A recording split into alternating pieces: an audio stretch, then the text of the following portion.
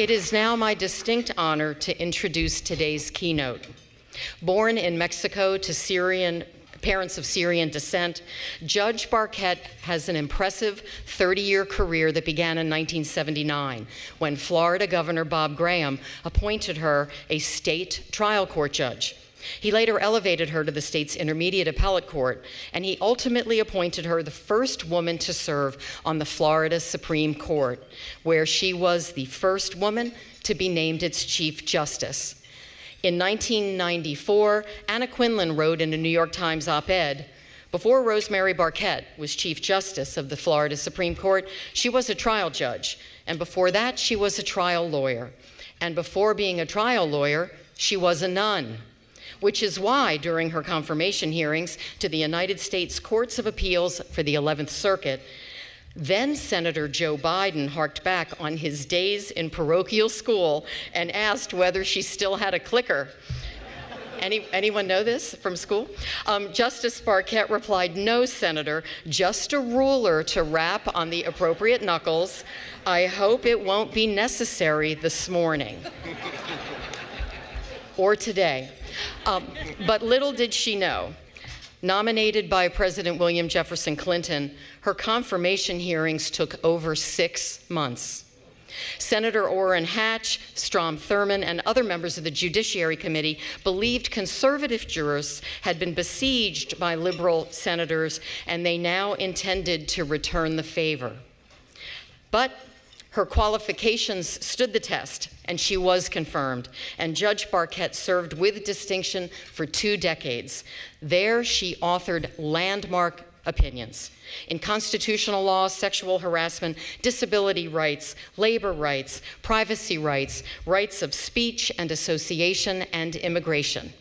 And in 2013, the Honorable Judge Barkett was, has since then served in her current role as judge on the Iran United States Claims Tribunal in The Hague, Netherlands. Always humble, she has won dozens of awards for her work, not only as a judge, but also as an individual. Two awards are given out each year in her honor and the Judge Rosemary Barkett Litigation Fund was established in her name at Americans for Immigrant Justice by committee members attending and represented here today. That's a shout out to Circe Denny, Mr. Scarola. The 2017 Prominent Woman in International Law Award, the Margaret Brent Women Lawyers of Achievement Award, the Latin Business and Professional Women Lifetime Achievement Award, and in 2018, Judge Barkett was awarded Leadership Florida's Lifetime Achievement Award, a shout out to the Leadership Florida table. And of course, back in 1986, Judge Barkett was inducted into the Florida Women's Hall of Fame. A pioneer, a trailblazer, a powerful voice for women around the world. Ladies and gentlemen, the Honorable Rosemary Barkett.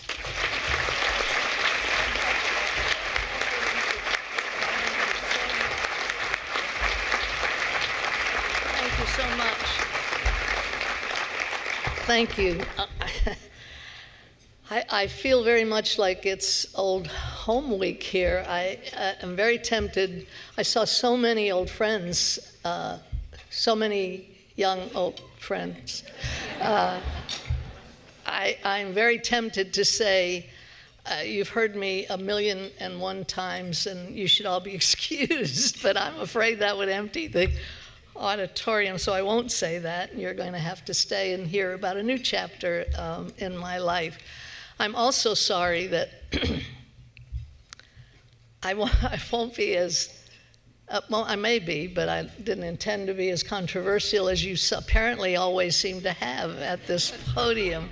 I was told that you would be interested in learning about the job that I currently hold. So this is more of a of a this is what I'm doing now kind of speech rather than a let me tell you about my views on a lot of things. Although I will reiterate that I was born in Mexico and my parents were Syrian, my relatives, and I had a wonderful time growing up in a tricultural family, and I will make the point again that Mexicans and Syrians can become very good Americans, I hope.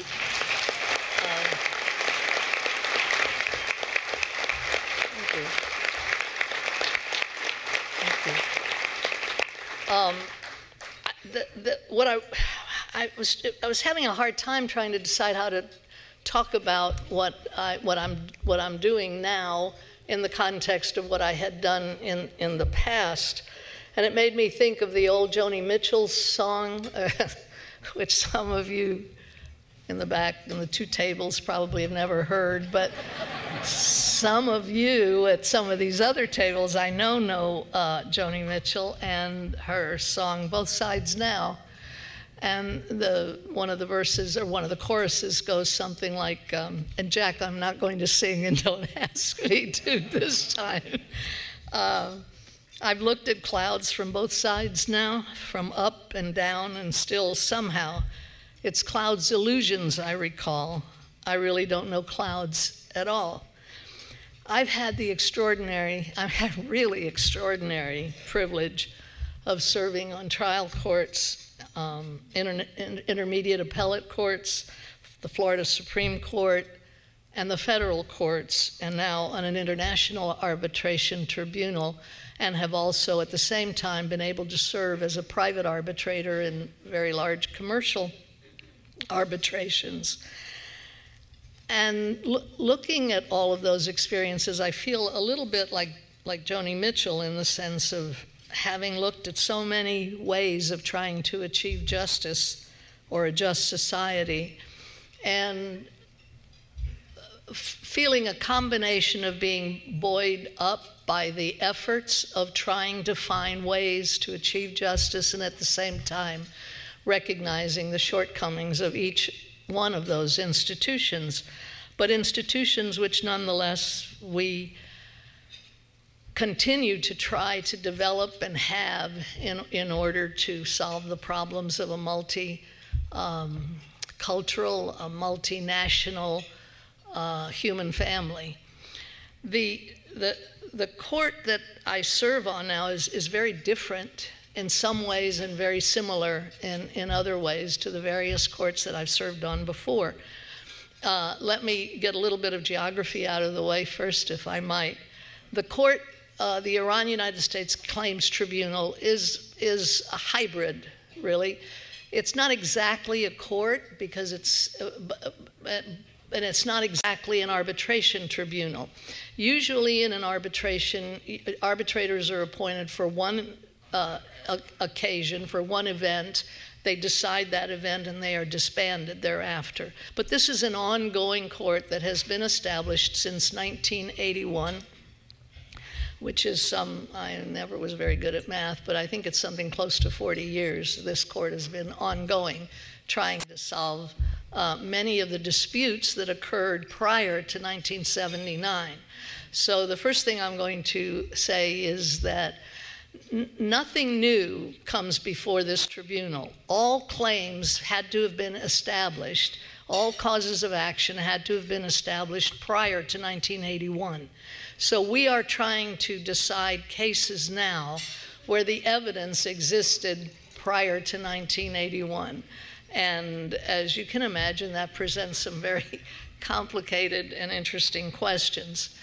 The tribunal sits in The Hague, which, forgive me for those of you that already know this, but I, have a huge family and they're always assuming that The Hague, a lot of them assuming that The Hague is a court. The Hague is a city in the Netherlands. It has approximately 500,000 um, residents.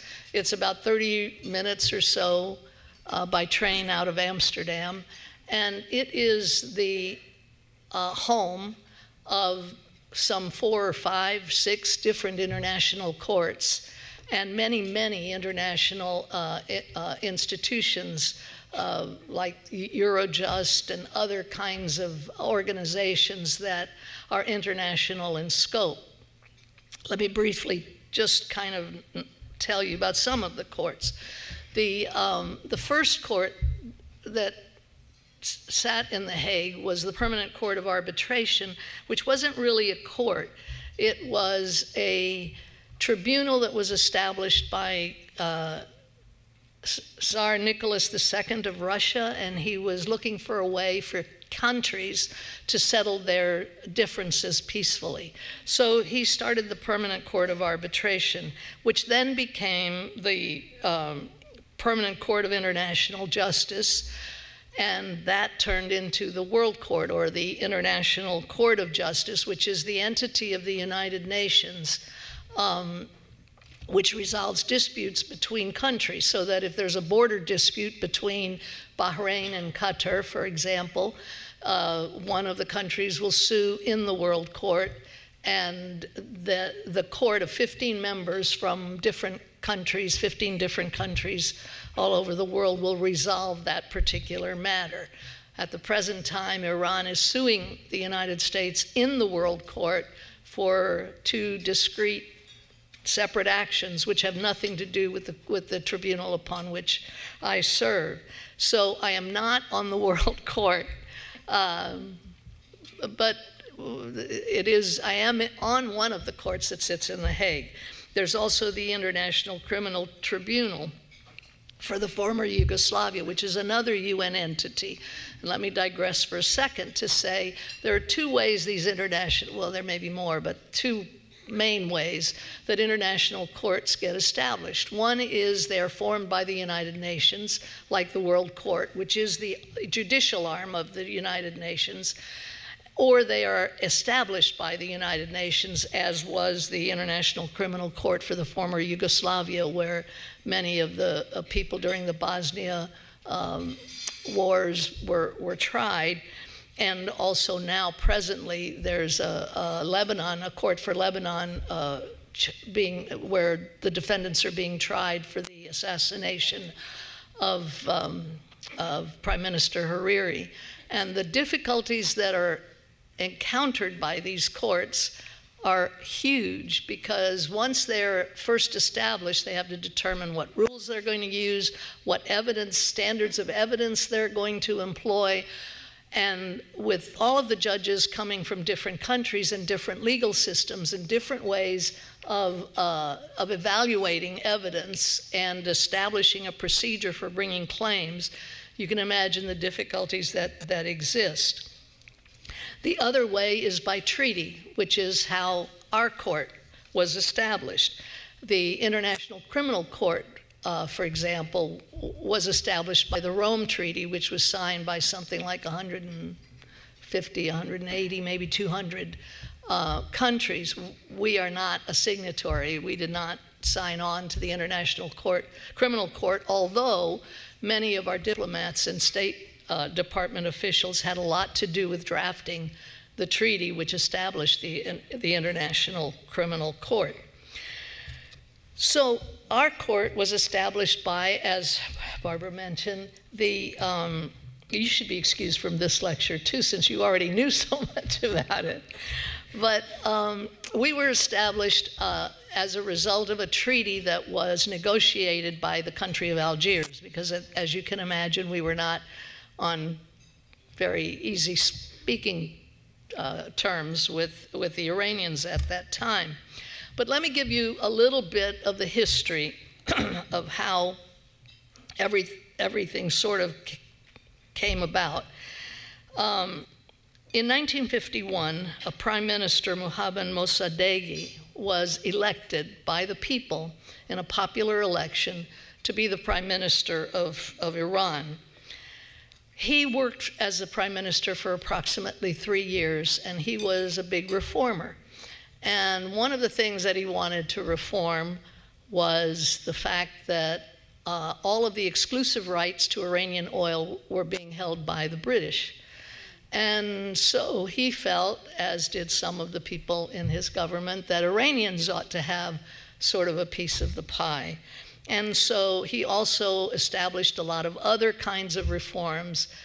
The UK was not very happy with the fact that he wanted to um, nationalize the oil or bring Iranians into the, into the fold, as it were. And so the UK persuaded the United States to work with them and to overthrow the regime of, of Mohammad Mossadegh. Now, the Shah of Iran was still the Shah at the time, but he did not want to overturn uh, this prime minister because the prime minister was very popular. But, and there are lots of books written on the subject, the UK and the US worked really hard to sow dissent and to generate a rebellion and ultimately persuaded the Shah by sowing this rebelliousness throughout uh, Iran to fire Mossadegh, to arrest him, to have some of the people in his um, in his administration um, executed uh, and put him under house arrest for the rest of his of his life. So the Shah then put somebody new in power that would cooperate with the Brits and with the United States. And what then happened from 1953 to 1979, and, and I have to say, in, in this whole history, I, I have to, as an aside, reiterate no matter how vehemently we disagree with one another, we have a country where the ballot box prevails and we don't execute the people that we disagree with, and that's something that we should all be very, very thankful for. So, so from 1953 to about 1979, stuff was happening in Iran. American businesses and American oil companies, American insurance companies, all kinds of American business people began to go to Iran, to move to Iran, to uh, uh, establish businesses in, in Iran, and the Shah's government was extraordinarily favorable to American businesses and American entities that were doing business there. So we had this wonderful relationship with Iran during the time between 1953 to 1970 something, 75, 78 maybe. But at the same time, the Iranian people weren't so happy. They were getting very upset. First of all, there were still the remnants of uh, Prime Minister Mossadegh's uh, party.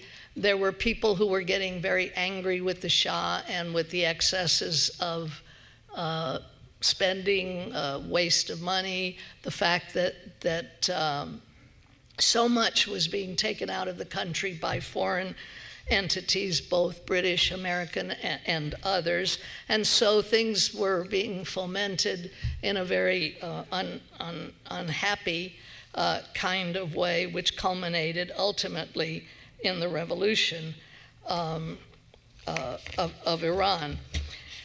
The Shah finally in 1979 fled to the United States. Ultimately, well, he fled Iran first, and then he wanted to be taken in by the US because he was ill, and President Carter would not refuse him entry into the United States, while at the same time, the revolutionary people in Iran were demanding his return. He was given uh, asylum in the United States for medical treatment, and it was after that that the revolutionaries stormed the embassy. They took 52 of our, host- of, of our diplomats and, and staff, and they kept them for over a year in captivity, as has been uh, described to you. We made lots of efforts to get them back. We tried a very ill-fated uh, it is not it is not a movie that Christian Bale will star in. We sent four or five or six helicopters to Iran to try to effectuate a, a, a rescue but they sent the wrong helicopters and they couldn't deal with the sand, and so they broke down, and that ended that attempt. So then, by this time, we were, of course, desperate to get our people home, and we worked then through Algeria to try to resolve the crisis and bring the hostages home. But there were some other economic reasons for wanting to solve this crisis. In addition to taking the, the hostages, it, the Iranians also confiscated all of the property that all of these businesses had been, uh, had been involved in, in establishing in Iran.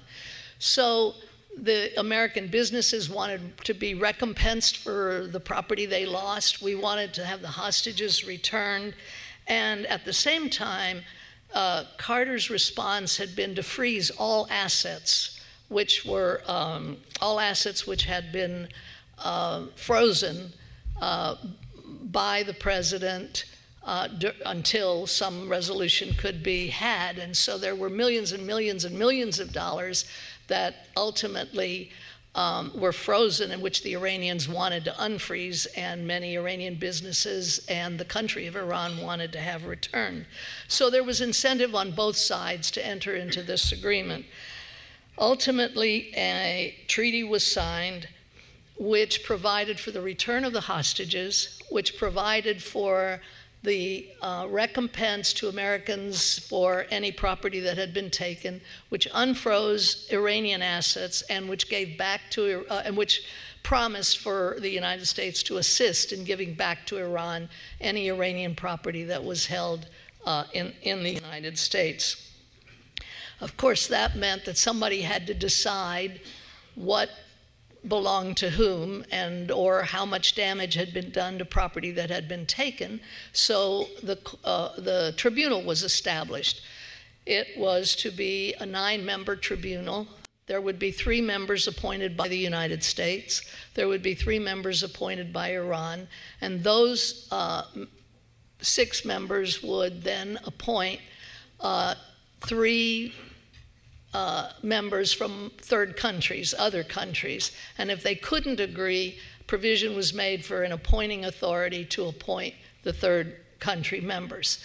So at the present time, there are three Americans, uh, uh of, of, which I am one. There are three Iranians uh, who have been appointed, and we have two Germans and one Swiss who serves as the president of the tribunal and the nine uh, members who have changed over the years. As you can imagine, this thing has been going on for almost 40 years, and so there hasn't been one person who has continually served all that time. The composition has changed, and in the early days, there was a great deal of, of um, acrimony. Uh, there was uh, an event at one point where two of the Iranians attacked physically one of the third country members from Sweden and uh, in the stairwell and had to be uh, separated. But that does not occur any, anymore, I assure you. Uh, and uh, so throughout the years, however, there have been, so one of the things that I know would immediately come to mind is, what, what the hell have you guys been doing for 40 years? Um, well, during the last 30 some years, the tribunal has resolved over 4,000 claims in total. They have awarded something like $2.5 billion to American claimants, either business people or individuals who have made claims against Iran.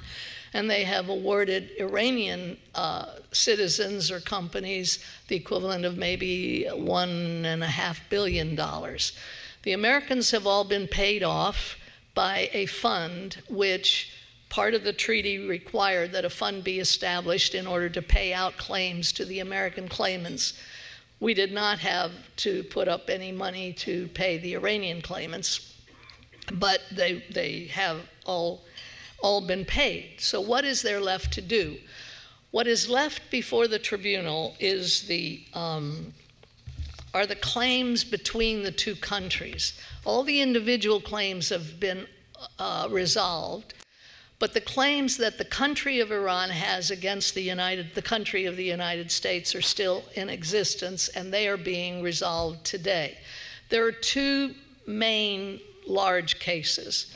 One involves some 69 claims of property, personal property, that is being held by individual Americans, uh, different kinds of claims uh, involving personal property, some artwork which was supposed to be sold. Uh, and they, the Tehran Museum did not receive, uh, which they are claiming the artist should have sent. A violin, which was taken out of Iran, which the, belonged to the Shah, which they claim should have been returned. And there is a provision in the treaty which says that the United States will arrange will arrange for the transfer of all Iranian property to Iran. And that one phrase for all the lawyers in the room and the non lawyers too, because you'll understand has caused great uh, deal of debate and very fascinating and interesting legal questions because you have to decide what is Iranian property. Some of this property the Iranians paid some money toward, so they believe they have an interest in it. The United States takes the position that Iranian property means you have to have title to the property, and so therefore title gets decided by the place where the property exists. And there are many other legal questions which uh, become a fascinating and interesting new challenge uh, uh for, for me. The, so that is ongoing, those 69 individual claims. Then there is what they call the very big claim. During the time, as I mentioned, that we were having this sort of honeymoon between the United States and Iran, the United States, uh, Iran became the the biggest client of the United States under its Foreign Military Sales Act. The Foreign Military Sales Act provides that the United States can sell to another country all kinds of military equipment. Because the United States felt that Iran was our sort of representative in the, in the Middle East, they were very willing and sold, uh, I don't know, entered into some 2,000 plus contracts, separate contracts for the sale of military equipment. The military equipment being things like submarines, uh, missile systems, uh, F 16 airplane, uh, uh, air, airplanes. Um, and from, from, from the biggest destroyers of ship, in ships to the smallest screws, all of this were uh, noted or involved or, or were the subject of these 2,000 and some contracts.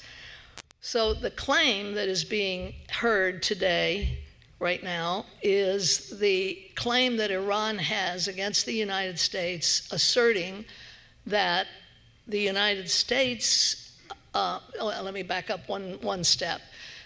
The, the United States, by law, is not permitted to extend credit for any, to any country for the sale of military equipment. So, what they require is that the uh, foreign country has to set up a trust in the, in the, within the United States Treasury and fund it. So, the, the way it works is when they order a part or a destroyer or a plane, and it gets delivered from the United States or from a third party provider, the United States then deducts that amount from the trust, and then they have to re, re add, add to it once again. So uh, the, the Iranians are claiming now that many things that were promised were not delivered or were um, not delivered in full. And there's a huge debate over the question of termination costs because we stopped dead in the middle of these 2,000 contracts in 1981, uh, of course, when the hostages were taken. We obviously were not going to continue to sell, and maybe a little bit before that, continue to sell military equipment to Iran under those circumstances. So the question then arises under the contract and under the subsequent memorandum of understanding, which was drawn up at the last few days of the of the um, uh, uh, uh of, of the revolution. Who pays the termination costs? Um, some of the things that were not finished had to payments had to be made to contractors who pays for the termination costs under the contract? So it's all of those issues which are presently being uh, resolved trying to be resolved. Some of these cases have not yet even been briefed. Um, there are 25 test cases which are presently being we're, we're attempting to resolve 25 test cases now um, hoping that that will establish some law and the parties can then negotiate and work through some of the remaining contracts, but there is no telling uh, how, how that's going to proceed as we are in the process of doing that now. The, um, the, the two parties, the State Department, the, the lawyers for the United States come from the State Department. The lawyers for Iran come from uh, the UK. They're, they're British lawyers. They have a fascinating way of presenting the argument for those of you that are here uh, that are that work in the law. Please appreciate the process that you have, and for the judges especially because the process is very European in that the lawyers have prepared remarks um, which they then read to you for three hours at a stretch. And then the lawyer for the other side gets up with their prepared remarks and reads to you for three hours more and then you get to go home and come back the next day for another eight hours of being read to. Not only that, but we have these computers, we have these live note things so that the court reporter is taking it, so you not only are hearing it, you are seeing it in writing.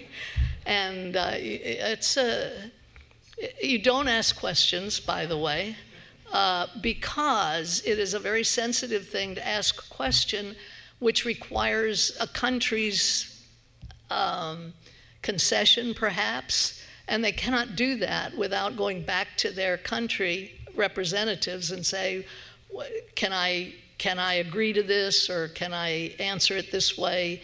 And so at the end of each side's initial presentation, then the judges get to ask questions. Well, of course, you've now forgotten the first, the first presentation that presented some questions. And now the complexity of what is being presented is pretty overwhelming because they have to explain the whole logistics system of how these contracts were um, developed and how they were billed and what was used in order to ascertain whether something had or had not been delivered.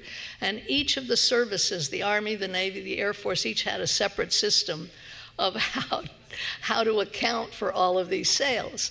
So it's been a, a fascinating experience to try to grapple with these things, which we are still continuing to grapple with. Um, we work in English. Uh, we are both a trial and an appellate court, so that we. Um, I, am I going way over this time for questions? I'm going to quit in a minute. I'm almost done with the main part of this.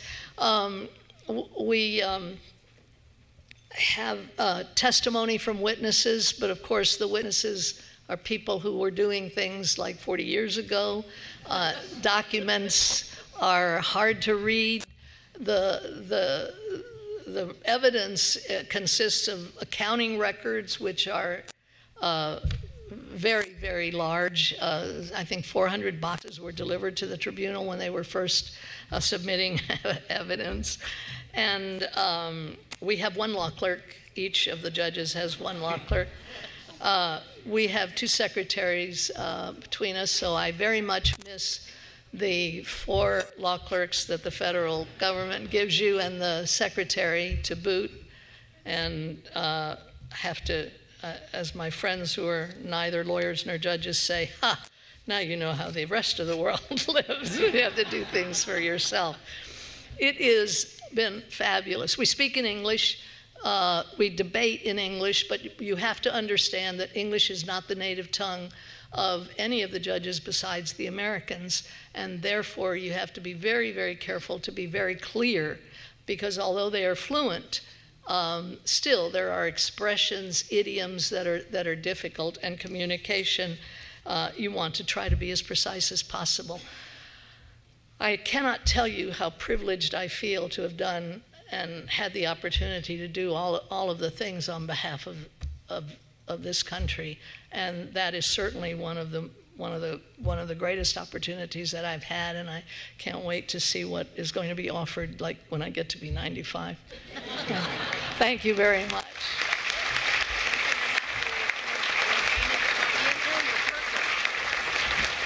Thank you. Let's see. Oh. Judge Barkett, thank you very much. Yes, ma'am. Today's questions come directly from our audience. It's an opportunity for us as citizen leaders to hear news and information directly from the source in an unfiltered way. If any of you have cards and questions for Judge Barkett, uh, please hold them in the air and we'll bring them forward. To kick off, we begin with two questions from our students. Afterwards, it's questions that have been submitted from the audience. If the first student, Bobby from Palm Beach Lakes High School, would please stand, introduce herself, and ask the question. Thank you. Hello, good afternoon. My name is Joshua Sands from the Law Academy at Palm Beach Lakes High School. And my question is Should voters determine the merit retention for Florida Supreme Court justices, or should these be lifetimes um, appointments? Well, no, voters shouldn't determine that at all because judges can't very well uh, take a position on anything while they're quote running for office. I mean, I, I, think the only thing you can say if you're if you're running for office as a judge, or at least the judge I would want to vote for, somebody who said to me, I, I just want to promise you that if you're wrong, I'm going to vote against you. Uh, you can't, it's, it's impossible for judges to, um, to take positions against another person. And the merit retention system is equally difficult because voters have, first of all, people don't understand the voter retention system. I'm going to try to be short. This is so hard for me. Um, voters, uh, when I was running, uh, I had to run a merit retention campaign, as many of you know, and somebody came up to me and said, Well, I asked my friend if uh, he was going to vote to retain Judge so and so on the appellate court, and he said, Hell no, he's a good judge. So it, it appears as though some people think that like being retained means being kept back in school or something. I, I, I don't know what they think. But it is not clear, and you cannot have people voting in an election. It's hard enough to understand the candidates when they're supposed to be running against one another and what they stand for. But judges, uh, it's, it's really impossible. So, what do you want in a judge? You want someone who has integrity, you want someone who is competent, you want someone who is going to um, uh, be, a, be somewhat of a, of, of, a scholar and is going to be fair and neutral. And how do you, how, and, and they assume in a merit retention race that there's this perfect person that's going to take your place and vote the way you want them to vote in every single case, and that's just not going to happen. It's, I don't think it's a good system, but, and I think that the federal system is a much better system for many reasons, but uh, maybe it could use some tweaking too. There should be some accountability. So I believe that there should be um, lifetime tenure on, on a court, especially an appellate court. Uh, but perhaps there should be some tweaking in terms of the years of service or some other way to assure accountability because we want judges uh, to remain on the bench as long as they are being fair and competent and doing their job. Thank you. If the next student will please rise and now ask a question. Thank you. Good afternoon. My name is Elijah Cardi. I'm from Palm Beach Lakes Community High School, and I'm a part of the Law Academy. And my question for you is what role should the International Court of Justice and other international courts have in interpreting treaties entered into by the United States or other countries? I'm um, not sure I understand. What role should international courts have in interpreting treaties? Is yes, that ma'am. the question? Uh, usually, if it's a court, if it's a court that's been created by a treaty, the treaty itself gives the court the power to interpret the, the language of the treaty. Ours does that, and so it's the treaty itself that gives the court the power to do so. When it's a question of a dispute, it's uh, between, for example, borders. Courts will look at the evidence and make a, and make a decision based on that. Okay, thank you. Thank you very much. All right, from our audience, Judge Barkett. You have been an outspoken proponent of women's rights and victims' rights throughout your career. Do you believe? uh, Well deserved, well deserved. Do you believe the recent passage of Amendment 6 here in Florida will positively impact your efforts? Uh-oh. Uh, amendment Victims' rights. Victims' rights, yes. I, um, Or you Wasn't that connected with something else? I thought there was a. I have not kept up with the law, but something must have happened. I thought there was a one subject rule in this state. Did there used to be that? I don't know what happened. That, that's fair. So if you wish to just speak about victims' rights and skip the we've amendment. always taken into account victims' rights. As far as, as I know, victims could speak to judges during sentencing.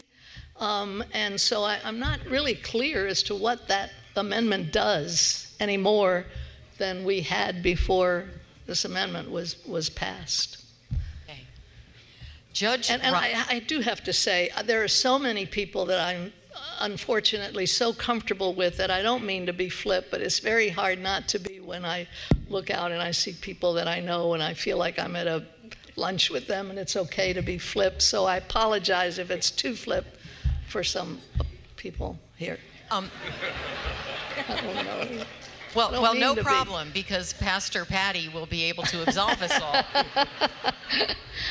Next question. Justice Roberts rebuked President Trump's characterization of a federal judge as an Obama judge. What are the long term impacts of this conflict and maybe this type of public characterization? But, I'm sorry, what, as an, could you just read So that it says? Justice Roberts rebuked I got that part. President Trump's characterization. Yeah, What are the long term impacts of, of this type of public characterization? Well, you can't you, you can't impugn the integrity of a judge simply because a particular person appointed him. I mean, all you have to do is look at your history. I mean, people like Eisenhower and Harry Truman used to complain that the the stupidest thing I ever did was put that guy on the court or something along those along those lines. Why? Because when you're a private citizen, you have views and you and, and, and you espouse them and you advocate for them. But when you put on the robes of a judge, you swear that you're going to be neutral and you're going to hear the evidence on both sides. And please God, we still have a judiciary who will do that instead of advancing a particular view, which is not to say that you cannot criticize judges, but you have to criticize them for something specific. You cannot, this whole business about activist judges used to make me so mad. Somebody would come up to me and say, Oh, Judge Barkett, I admire you so much. You know, I don't agree with all your opinions, but, and I, I, I used to be a good girl like my mother and my everybody taught me to be. And I'd say thank you very much, very meekly. And then I got older, and once you get older, you can say things like, "Really? And which opinion specifically do you not agree with?" And they would look at you and they couldn't tell you because they didn't know. And all they're doing is parroting stuff that some person has told them to. You can't do that. You criticize a judge's opinion because you say they got the facts wrong, or their logic doesn't work, or something pertaining to their to, to what is written that is logical and that makes sense. You can't just say, well, he was appointed by so and so. Anyway, that's what I think. Thank you very much. Uh, Judge Barkett, what are the two most important lessons you learned in your European journeys that you would want to transmit to Americans? You should travel in Europe. Every single person should go. There are so many different ways of doing things, and you cannot isolate yourself and think that we know, I mean, how to do everything. Um, and it's beautiful. And um, I would want them to know that, that the lifestyle is a very um, healthy one. I live in the middle of the downtown area, the old town of The Hague. You have to walk many places. You ride your bike to work. Most everybody rides their bike to work because owning a car is expensive, gas is expensive, and um, it, it clogs everything up. And so people use it as their main course of, of, uh, of transportation. You see people in tuxedos and in high heels biking to work. Um, and so I, I, and there's so many beautiful things from which we derive so much here in, here in this country. I travel, and it's a lot of fun. Come visit. Oh no, I shouldn't say. My my staff put a, a, card on my on my computer uh, with three quotes. Um, I'm sorry I won't be in The Hague during this time. and two is something else and something else because I just invite everybody to come. You should come. And if you come, come visit me in The Hague.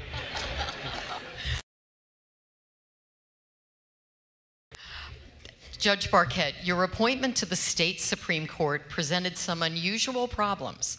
The justices' chambers had only two restrooms, one marked justices and the other marked women. Your appointment brought an end to that. Six men, first woman. No. what other impacts did your appointment bring to the chambers? I think there wasn't a woman's bathroom in the in the chambers part. It was just said justices, so they had to build a cut, do a cutout for the separate bathroom. And I, I will confess that uh, I would threaten to chase them into the men's room if they did, didn't uh, finish the argument or whatever it is we were we were doing. They were funny. Um, what other changes. I, I, I, don't know. Ray Ehrlich told the same jokes that he always used to tell, whether I was in the room or not. Maybe he toned them down a little bit. So, did they call the justices like uh, oh, Mr. you mean Madam? Justice? Is that what you meant? No, they they cut that out. I mean, they I think they were cutting that out beforehand. I think Sandra Day O'Connor. Um, eliminated that practice on the Florida, I mean, on the United States Supreme Court because Madam Justice sounded like you know what it sounded like. So if my information is correct. Although as the older I get, the more I think maybe it would be fun to.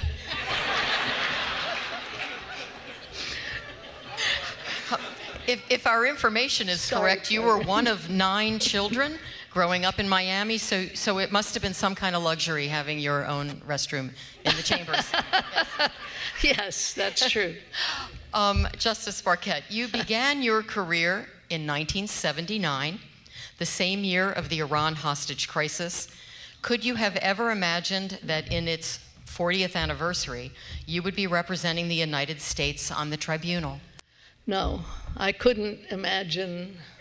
I, I could not imagine uh, that I would have had the opportunity to do any of the things I did. I, I consider them unbelievably uh, I don't want to say lucky accidents because maybe you'll take my job away or something, but I, um, I, was able to, well, you know, it, it is luck in so many ways. You cannot take credit for what you are, what you have, because so much of it is, there's a, if you get a chance, Google um, Justice John Roberts' commencement address to his son's junior high school graduation. It is an unbelievably wonderful piece. And he talks about uh, wanting to recognize, wanting, wanting something unfair to happen to these kids because that will make them realize the importance of fairness and to also realize that being you're born to the parents that you're born in the country in which you were born or in my case the ability to come to this country. Uh, you're born with the intelligence that god has given you not that you earned by any way i mean yes you have to make the best of it uh, of your of your gifts um, but the gifts didn't come from you and so um, I couldn't know. I couldn't imagine it. I was even as practicing law in West Palm Beach with many of the people that I see here. Um, my court reporter was here, Janet, somewhere. She's somewhere here. Uh, I couldn't, I couldn't have imagined when I was practicing law that I would ever get to be a trial judge, never in a hundred years. And when I was a trial judge, I couldn't imagine being on the appellate bench. I mean, it just, the opportunities provided themselves. I like to believe that I was prepared for them and took advantage of them when they uh, uh, appeared. But um, no, I, I, had no. I, I mean, I listen to these kids back there who say, I say, "Oh, you want to be a lawyer?" And they say, "No, we want to be a judge." Okay, that, which is great. I applaud you for that. But I had no thought that I could be uh, uh, or have many of the jobs that I've been lucky enough to have. Uh, just to let the crowd know, earlier, Judge Barkett actually just caught a glimpse of the lovely lady that's her former court reporter and hadn't seen her in over 30 years, but recognized her right away. So um, we want to take the vitamins that you're taking. for, for our last question, in a past interview, you shared that your time at the convent was like a sorority, but without the parties. so, what did you girls do to kick back and relax? I think other times I've likened it to the army with, without the uniforms. Um, what did I take from the convent? I, you, you said it was like a sorority, but without the parties. What? So, how did you kick back and relax? Did you watch Sister? uh, we sang. Sister Act? We sang a lot of songs. And uh, I, when I said sorority, what I meant was that there was this tremendous sense. I mean, you have these, when I entered the convent, I was 17 years old. And as were many of the other women who, well, they were girls, who, who entered the convent at the same time I did. And we were up the road in Jensen Beach, which is where the novitiate was. And um, you had a whole, like 20 or 30 or 40 young women who were so desperate and wanted so much to do good. And so they would do good for one another. You know, you'd leave your shoes out and somebody would have them polished the next day. You were trying to outdo everybody and trying to be uh, good to one another. And I think it was that spirit of, of of, of unity and uh, I don't know what I meant when I said that, but it's, it's that kind of a thing that I was trying to convey. Well, but Judge- the parties, we had parties, but we just sang and we had Kool Aid and we had, I don't know. um, Judge Barkett, we'd like to first thank you for your lifetime of selfless service. Thank you. Thank you very much. Thank you for thank you for traveling all the way from the, the Hague.